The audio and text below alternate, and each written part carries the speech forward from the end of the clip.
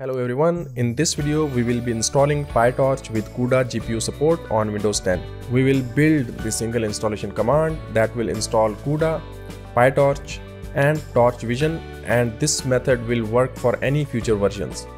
Let's put 90 seconds timer on the screen and get started. You will need Anaconda Python distribution installed on your computer along with updated NVIDIA GPU drivers.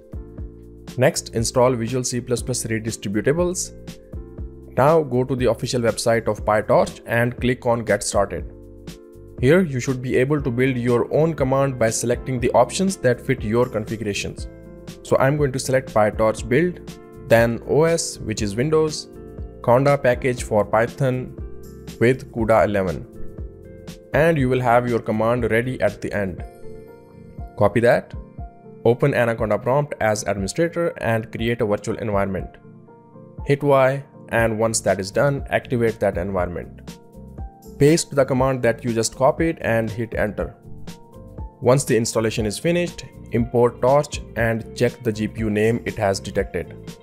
And its name is GTX 1060. But what if you want to run TensorFlow GPU along with it?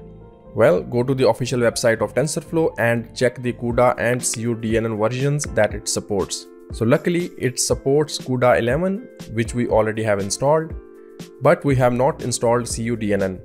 So let's install cuDNN version 8 and once that is done install TensorFlow 2.4.1 which is the latest version at the time of making this video. And when the installation is finished check the available GPU. It is available and its name is GTX 1060.